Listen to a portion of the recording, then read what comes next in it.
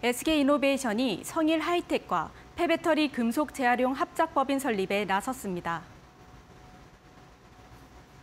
양산은 오늘 서울 종로구 SK 설인사옥에서 폐배터리에 포함된 양극재 금속인 리튬, 니켈, 코발트, 망간을 회수하는 사업을 함께하는 내용의 MOU를 체결했습니다.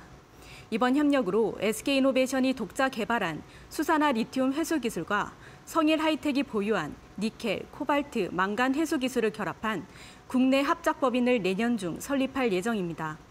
SK이노베이션은 첫 번째 공장을 한국에 건설하고 향후 적절한 시점에 해외 공장 증설도 추진할 계획입니다.